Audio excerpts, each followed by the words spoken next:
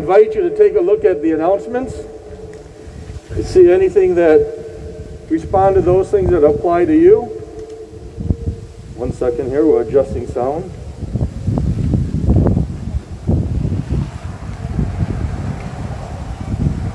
See if that, nope, that doesn't have, that has- doesn't have enough. This is tad more.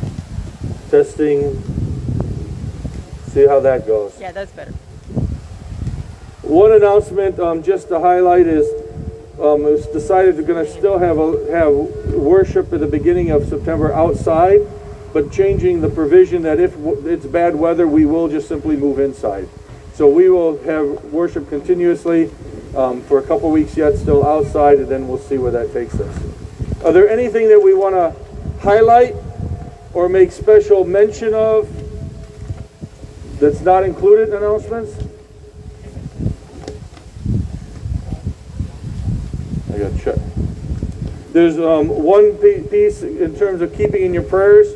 Um, Janice Knutson had some surgery at the end of the week, um, and she'll be hospitalized for a week here before she goes back either to the assisted living or care center for a little bit for recovery.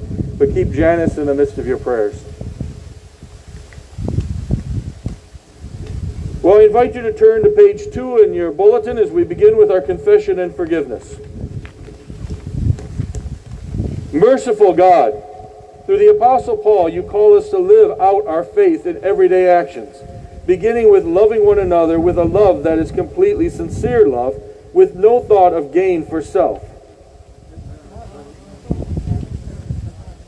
We are to hate evil and to hold fast to what is good, yet grasping for financial gain by whatever means has led to a diminished understanding of what is evil and what is good. We are to care for and honor one another, Yet Yet sadly, divisions exist in churches and faith communities. when conflict arises over rights and privileges, prestige and power. Our faith is to be visible through our joy and our hope, our patience, even in suffering. And through our persevering in prayer, and we are to show what we have. And to extend hospitality to strangers. We know we fall short of living out our faith in these ways, so we pray that we will be renewed, strengthened, and empowered with the Holy Spirit to follow Jesus, living, loving, and caring as he did. This we pray in Jesus' name. Amen. Hear the good news. God's love for us is truly revealed in that while we were still sinners, Christ died for us. Thanks be to God.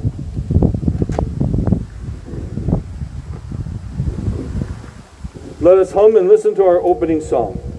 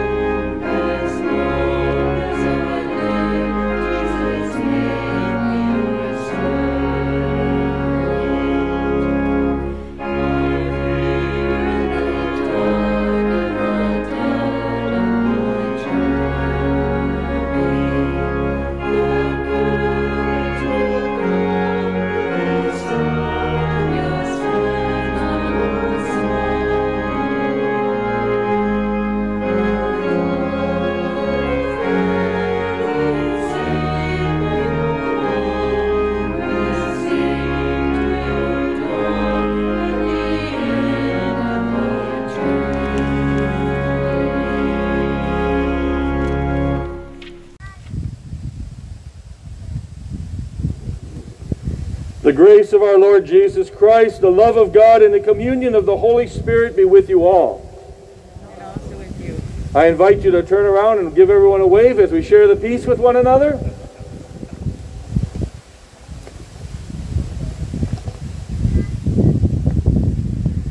And we continue with the Kyrie. In peace, let us pray to the Lord. Lord, have mercy. For the peace from above and for our salvation, let us pray to the Lord. Lord, have mercy. For the peace of the whole world, for the well being of the church of God, and for the unity of all, let us pray to the Lord. Lord, have mercy. For this holy house and for all who offer here their worship and praise, let us pray to the Lord. Lord, have mercy. Help, save, comfort, and defend us, gracious Lord. Amen. We continue with the canticle of praise.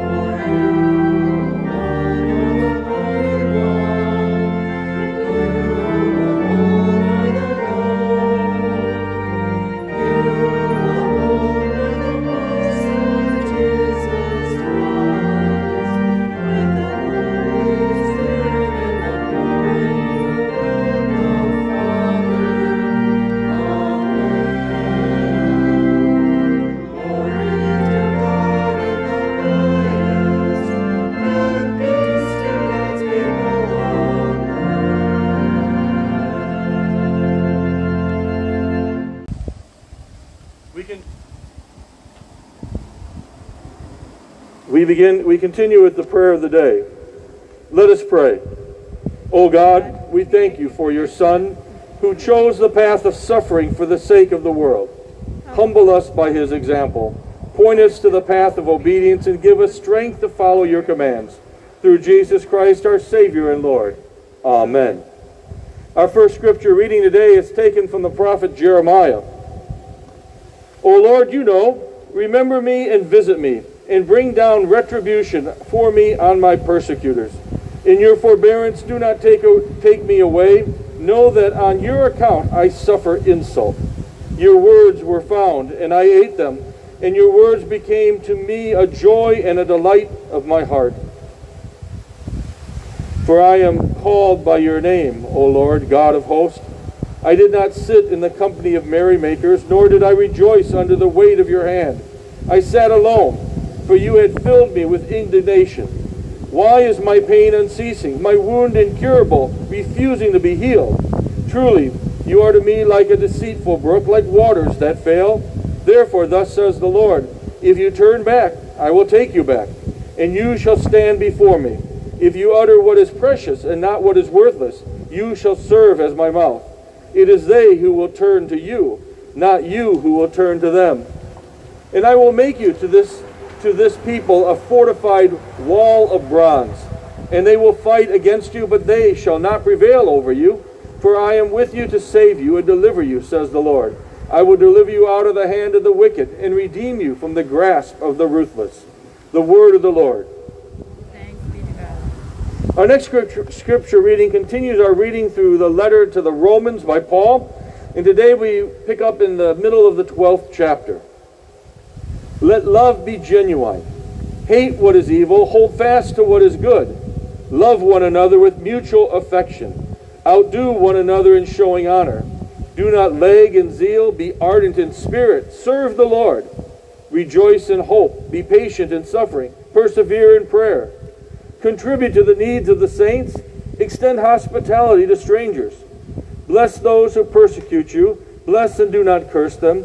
Rejoice with those who rejoice. Weep with those who weep. Live in harmony with one another. Do not be haughty, but associate with the lowly. Do not claim to be wiser than you are. Do not repay anyone evil for evil, but take thought for what is noble in the sight of all.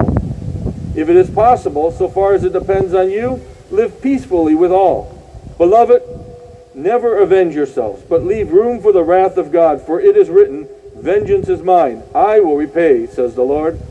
No. If your enemies are hungry, feed them.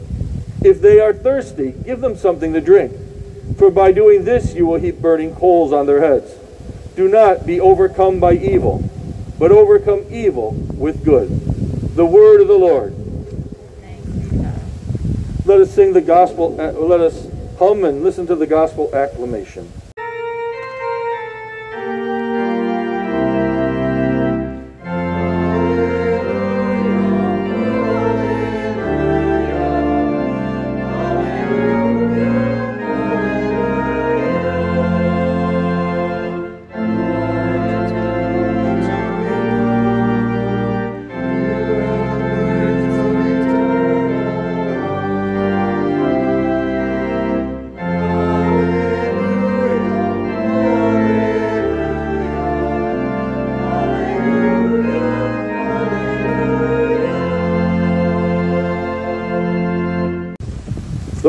Gospel according to Matthew.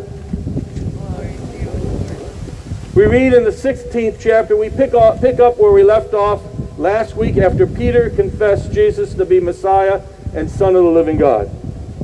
From that time on, after Peter confessed that Jesus was the Messiah, Jesus began to show his disciples that he must go to Jerusalem and undergo great suffering at the hands of the elders and chief priests and scribes, and be killed, and on the third day be raised.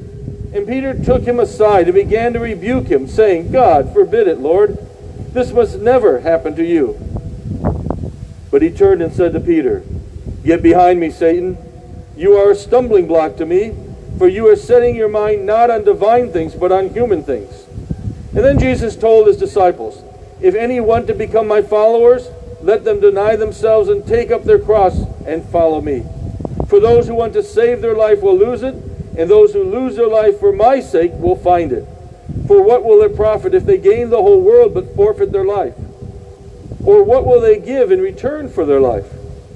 For the Son of Man is to come with his angels in the glory of his Father, and then he will repay everyone for what has been done. Truly I tell you, there are some standing here who do not taste death before they see the Son of the Man coming in his kingdom. The Gospel of the Lord. Praise to you, O Christ. We'll share in the children's message, so if those who uh, want to get in a position that you can see a little bit here, a couple illustrations.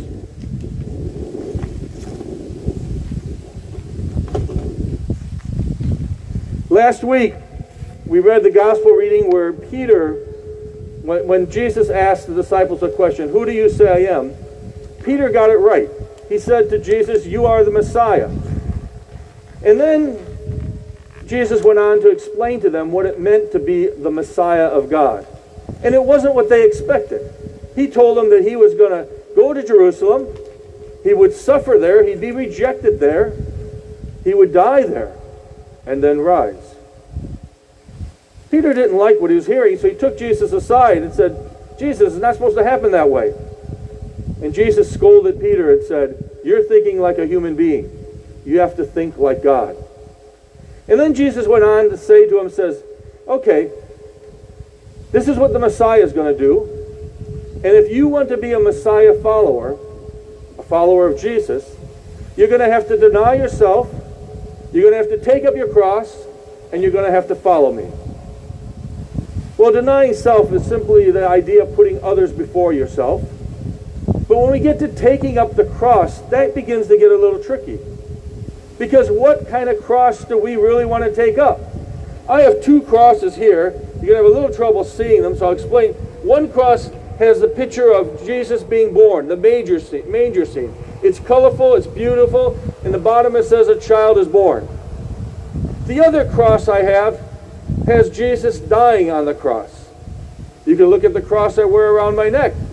If I was going to choose which cross that I wanted to carry, I don't think it'd be this one with Jesus hanging on it. I'd rather have the one I could put around my neck that's rather ra ra rather plain in that respect or something that looks beautiful like this. But I don't think that's what Jesus was hinting at.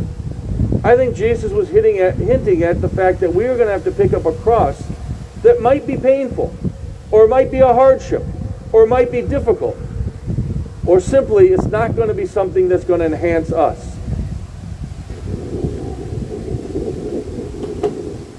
Another way to think about it is one of the themes that comes out of Crossways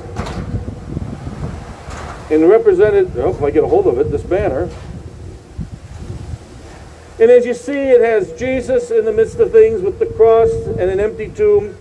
But the key to what it means to take up a cross, to deny self, is what's on the bottom of the page in the bottom corner.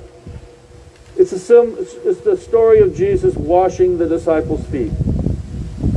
Again, Peter really didn't want that to happen, but Jesus insisted. And when Jesus got done, he said, if you're going to be one of my followers, if you're going to be part of this group, if you're going to be one with me, you have to do the same thing. You have to serve. You have to take care of. You have to humble yourself before other people. When he says deny self, take up the cross, or even better yet, follow him, this is the example he set. And he said it so we could follow and so we could live like people of his kingdom. Thank you.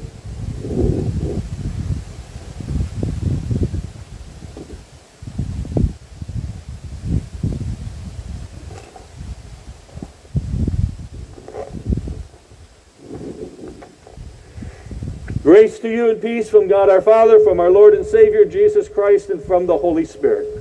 Let us pray. Lord, we ask you to open our eyes, our ears, our hearts, and our minds so we can see, so we can hear, so we can receive and understand all the gifts of your love that you lay before us.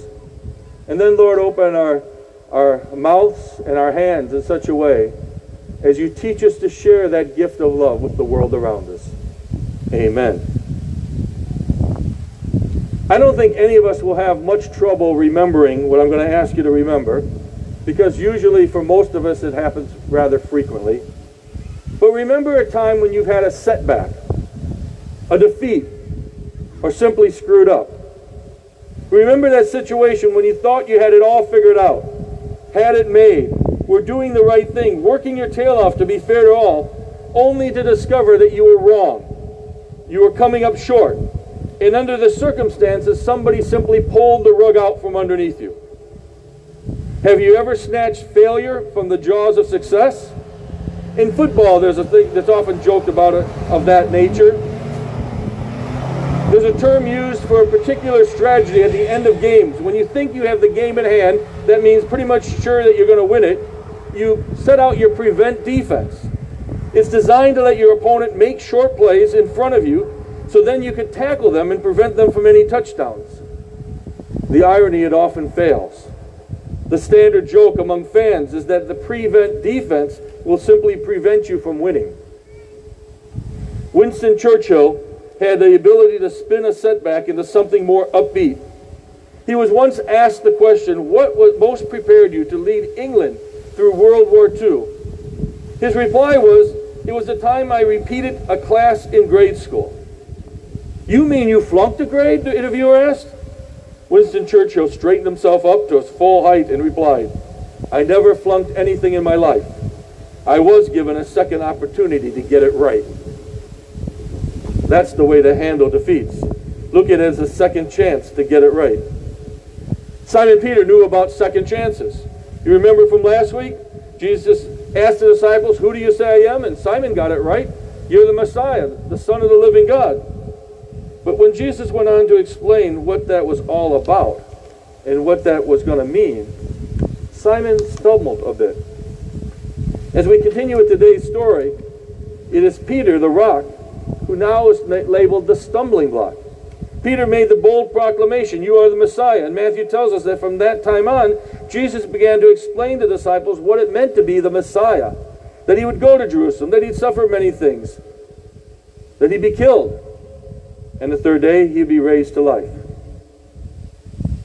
At this, says Matthew, Simon Peter took Jesus aside and rebuked him. Can you imagine anybody rebuking Jesus the Messiah, the Son of the living God? But Peter says, God forbid it. This is, must never happen to you. And what happens next kind of shocks us all. It stings us all. Because Jesus, after making sure all the disciples are paying attention, says to Peter, Get behind me, Satan. You're a stumbling block to me. For you're setting your mind not on divine things, but on human things. What a turnaround. It takes Simon Peter only seven verses to go from being the hero to being the goat, from the rock which Christ is going to build his church to be the voice of Satan tempting Jesus to do something that God doesn't want. That's one of the reasons I love the Bible. There is no effort to sanitize any of these stories. There is no attempt to make biblical characters more holy than they were. One moment, Peter proclaims Christ as the Messiah, and the next moment, he's trying to tell Jesus what to, how to do his work. One moment he's, he's, in, he's in the garden defending Jesus with a sword in hand, and the next he's standing outside the palace where Jesus is being tried and denies he even knows Jesus. One moment he is hiding as his Lord is being crucified. And it wasn't too many days later, he is proudly proclaiming Christ's message to thousands of listeners on the day of Pentecost. That's Simon Peter. Now the story stings because it hits home. Because at some point we begin to realize that we are very similar to Simon Peter on this matter. Up and down, in and out, defending and denying. That's us. We can identify with this fickle disciple. When he looked back on it later, I'm sure Peter probably regretted trying to correct Jesus. We all suffer from the foot and mouth disease. If only our foot was a little bigger, we wouldn't get so many words out. There's a tour group of college students in Italy. They're standing inside St. Peter's Basilica, the second largest church in the world. And the tour guide explained to them this church is so large that there's no man who ever lived on earth who could hit a baseball from one end to the other. Not Lou Gehrig, Babe Ruth, not even Mark McGwire. And the group simply stared in silence at the beautiful marble sculptures, the elaborate paintings, the glorious mosaics, the stained glass windows all around them in this enormous building. And then one of the college students interrupted the silence with a off-the-wall question. You mean they actually let them hit baseballs in here? Okay, we might think that she was maybe a few fries short of a Happy Meal, but all of us have blurted out remarks that are just as clueless. Peter does so with Jesus. Peter cared about his Lord. He didn't want eh, him to suffer. He didn't want him to die. He did, but he didn't know any better. He, like everyone else, had expectations for this Messiah. It was risky to follow one hoping that he was the Messiah, but it wasn't supposed to be risky following the Messiah because he was going to come with power and with purpose and from God, of which most thought would mean he would demonstrate with earthly power dominion over Israel's enemies. How could the Messiah be put to death? It didn't make any sense. Peter, might have been a bit hasty and a little brash in his rebuke of Jesus, but he was being quite honest. Never, Lord. This shall never happen to you. And as usual, Peter's probably speaking on behalf of the other what the other disciples were speak were thinking. And when we're honest about it, we would want to say the same thing. In our lives, there are things about our faith that bothers all of us. Rarely do we find people all in. Usually we all have a few disclaimers, a few concerns and uncertainties, or the subject matter is above our pay grade of understanding. We are like Simon Peter before he was confronted by the risen Jesus. Sometimes we're up, sometimes we're down, sometimes we're convinced, other times we're confused, sometimes we're soldiers in Christ's army, and at other times we're missing in action. Thank God for His grace, because surely none of us merit His salvation. After Jesus confronts Peter about his spontaneous, comments, Jesus spells out what is facing those who would give their lives to follow him. He tells them what it will take to be a Messiah follower or a Jesus follower or what we would refer today as a Christian. Whoever wants to be my disciple must deny themselves. They must take up their cross and then follow me. For whoever wants to save their life will lose it, and whoever loses their life for my sake will find it. Jesus says if we want to follow him, we must take up the cross. Back in 2003, the Church of the Holy Cross in New York City was broken in twice in the same month. The first event, the thieves made away with the metal money box. Three weeks later, the vandals escaped with something much more puzzling to everybody. Being a Catholic church, there was a large crucifix in the church, the thieves unbolted the four foot long, 200 pound plaster Jesus from the, from the crucifix, but left behind the wooden cross in which it was attached. The church caretaker confessed by his bewilderment at this, they just decided they're going to leave the cross and take Jesus. We don't know why they just took him. We figure if you want the crucifix, you take the whole crucifix. Those thieves are not the only ones who just want to take Jesus but not his cross. That's all of our temptations. We, and we know why. Many people would like to have Jesus and leave the cross behind. Jesus represents forgiveness and grace. Jesus is a divine friend who accepts us as we are, hears our prayers, helps us in times of need. Who wouldn't want Jesus? But the cross? That's something else. Who wants that? It represents literally death. It represents discipline and self denial. The cross represents service and sacrifice. The cross represents taking our eyes off ourselves and putting them on those for whom Christ died. That's an entirely different matter altogether. We want Jesus. But most of the time we're a bit uncertain about taking up his cross. Taking up your cross and following Jesus means that you are willing to live a Christ life regardless of the cost. The gospel reading might be the battle cry today, but the reading in Romans begins to get at the application in our lives. It reads, Let love be genuine. Hate what is evil. Hold fast to what is good. Love one another with mutual affection. Outdo one another in showing honor. Do not lag in zeal. Be ardent in spirit. Serve the Lord. Rejoice in hope. Be patient in suffering Persevere in prayer. Contribute to the needs of saints. Extend hospitality to the strangers. Bless those who persecute you. Bless and do not curse them. Rejoice with those who rejoice. Weep with those who weep. Live in harmony with one another. Do not be haughty, but associate with the lowly. Do not claim to be wiser than you are.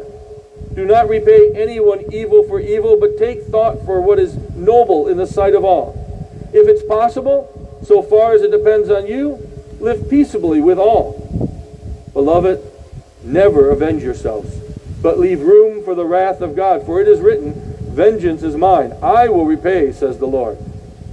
No, if your enemies are hungry, you feed them. If they are thirsty, give them something to drink. For by doing this, you will heap burning coals on their heads. Do not over do not be overcome by evil, but overcome evil with good. This is what we are asked and how we are expected to live as followers of Jesus. As I take this in and then I begin to understand what it means to deny self, to take up a cross and to follow. Peter, we could say, backslid in a hurry when he first confronted with the message of the cross. But we struggle with that as well.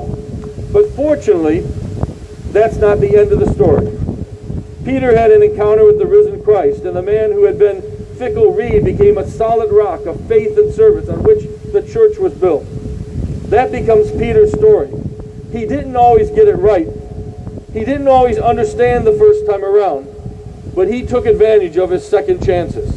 He was able to bear witness to the message of Jesus' saving grace to those around him. The cross is not the only message of Christ's saving grace. It's also our experience of denying self and taking up the cross and following Jesus. We love as he loved.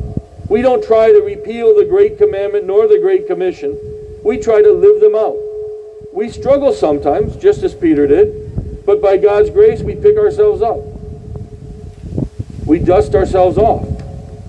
And even more importantly, we hoist the cross back on our shoulder as we seek to live as Jesus lived. That's who we are. That's what we do. That's how we give God his glory. May the love of God that comes to us through Jesus Christ, may it hold our hearts and minds in Christ now and forever. Amen. Let us hear our next our song of the day, Yesu, Yesu.